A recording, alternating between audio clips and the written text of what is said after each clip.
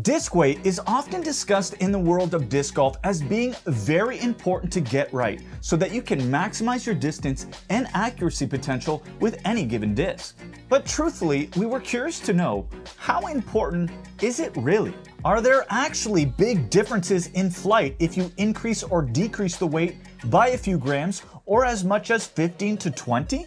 Well, we here at JustDisc were very curious about the importance of this factor, so we decided to test the effects of one mold in different weights. And honestly, the results were quite surprising and not exactly what we expected. So without further ado, let's get into it.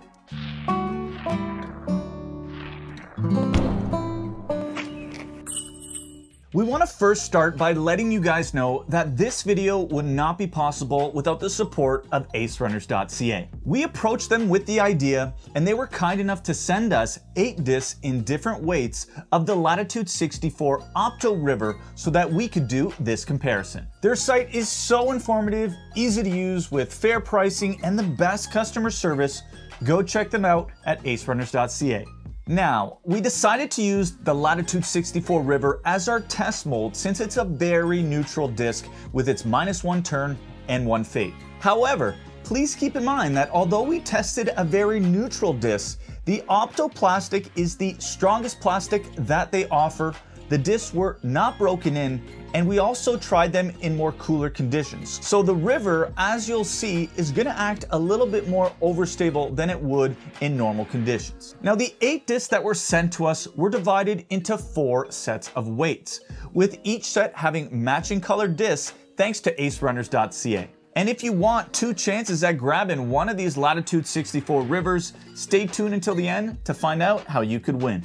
First and foremost, let's discuss the distance effect and then we'll get into the accuracy effect of different weights. It's been proven that the distance a disc flies is heavily correlated to the speed at which the disc leaves your hand. And according to the Best Disc Golf Disc YouTube channel, for every one mile an hour of power you apply, you should get around seven feet of extra distance. Therefore, in theory, the lighter the disc, the faster you can throw it, and the more distance you should technically get. So, does this mean our lighter disc flew a lot farther than our heavier discs? Well, not exactly.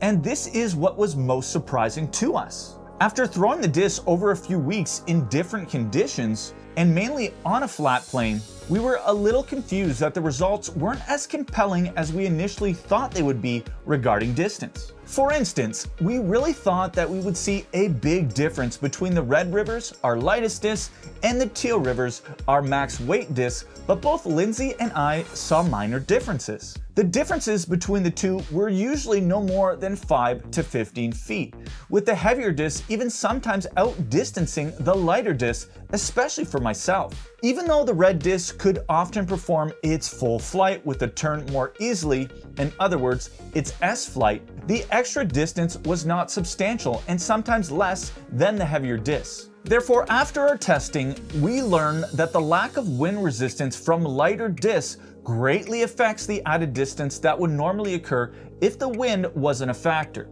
And since the heavier discs penetrate the wind better, this also helped the heavier discs obtain a similar distance to the lighter ones. And when we say wind resistance, we are simply referring to the airspace that the disc must fly through. Perhaps in an enclosed space, the differences in distance would be more substantial, but the wind resistance plays a much bigger factor on distance than we initially thought. But you may be asking, why is it that long distance competitors, long distance competitions still use much lighter discs than heavier discs to get more distance? Well, in our opinion, there are four reasons for this.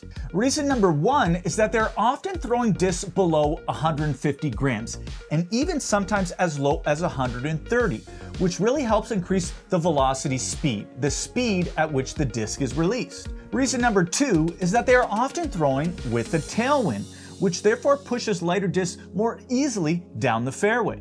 Reason number three is that tailwinds also make the disc want to fade more, which really helps lighter discs since they tend to turn much more without much fade back. Therefore, the tailwind makes discs more overstable, which allows the disc to hang in the air a lot longer since it tries to complete more of a full S flight. And reason number four is that they are using more overstable discs to really counteract that added turn that lighter discs create. Therefore, if you're trying to buy a disc for maximum distance with less of a concern about accuracy, the lighter you go, the more overstable your mold should be, just to counteract that added turn that lighter discs create. So now let's talk about how disc weight affects the accuracy of a disc. And from our testing, this is what we feel is a lot more influenced by the disc weight than the distance it flies. Now, most of you already understand that a lighter disc is going to be harder to control than a heavier one. And that's because the added weight allows you to feel more of the disc, which really helps with rhythm and timing. Overall, I typically use max weighted discs for everything below a 7 speed to really get a better feel for the disc and in turn be more accurate. And the results I found with the River really helped prove this point. The heavier teal and white discs were often found in close proximity to one another, whereas the red and pink discs were often a lot less consistent with their accuracy. And when I tested their accuracy on a specific hole at my hometown course, the results showed that most of the heavier discs ended up closer to the basket more consistently.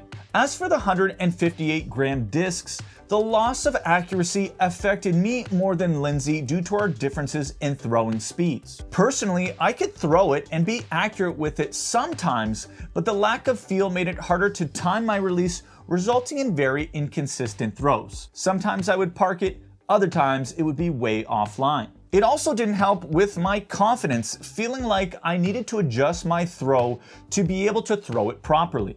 Now with Lindsay, her results demonstrated that she can get similar distance with all four of the discs, but the heaviest and lightest discs often resulted in more misfires and less accuracy than something like the somewhat lighter pink disc. Now, although her favorite disc was the lightest disc, the 158 gram red disc, because of the comfort and her ability to throw it with ease, it still wasn't as consistent as the pink disc.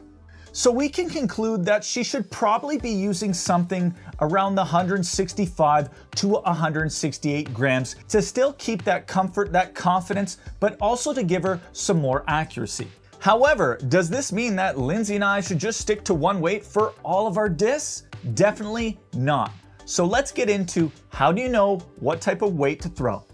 To be honest, knowing the correct weight to throw can be very difficult but it's also a more misinformed way of thinking about weight since it's very dependent on the shot type that you're trying to perform as well as the conditions that you're playing in. However, there are a few tips that we can give you to make a more informed decision when you're looking to buy some discs and you're comparing some weights. Firstly, for most players, it's good to stick between the range of 160 to 180 grams for most of your discs. The lower you go below 160 grams, the worse the trade-off becomes between distance and accuracy. In general, there's a point at which the reduced mass has a negative return effect versus the wind resistance. Secondly, putters and mid-ranges should really be kept closer to those max weights because those discs are more about accuracy and distance and the added benefit is just so huge. It really helps you control those discs a lot better. Thirdly, the ideal flight of a driving disc is a disc that flies straight, slightly turns to the right, and then fades back, allowing the disc to get its maximum yield, its maximum flight. So, if your disc is fading too much to the left when throwing flat right hand backhand, you probably need a lighter version of it. And if the disc is turning too much to the right when throwing flat, you may want to use a heavier disc instead. And lastly, you sometimes need a heavier or lighter disc for specific situations as previously mentioned. For example, heavier discs are great for skip shots and lighter discs are great for throwing uphill. Now, these are only two reasons on why you would want heavier and lighter discs, and we already did a video on this, so we'd rather not repeat ourselves. Check it out if it's something you're interested in. So after all of our testing, what we learned is that wind resistance has a great effect on the added distance you'll achieve with the lighter disc. We saw almost negligible differences between discs of just a few grams apart, and the difference between discs that were 15 grams apart were not as substantial as we initially thought. However, from learning about the professional long distance throwers and how they use lighter discs, but ones that are more overstable for long distance drives, we can assume that the neutrality of the river probably didn't help since the disc did not have the fight required to let it fade back which would have helped the disc stay in flight a little bit longer and get more distance. In addition, we also found out that the accuracy is much more negatively affected when using too light or too heavy of a disc, showing that accuracy should be much more of a concern over distance when choosing weight. If you choose a disc that's too heavy or too light, you may put yourself at risk for more misfires or in other words, less accurate shots. Now this isn't to say that you should shy away from lighter discs. 99% of players are going to benefit from lighter discs, especially for their distance drivers since they lack the form and speed to really get them to fly properly. Lastly, if you're looking to pick up a specific mold and you have a variety of weights to choose from, in our opinion, feel and comfort go a long way on how the disc is going to perform for you. That mental confidence boost that you get can truly go a long way in how your disc performs.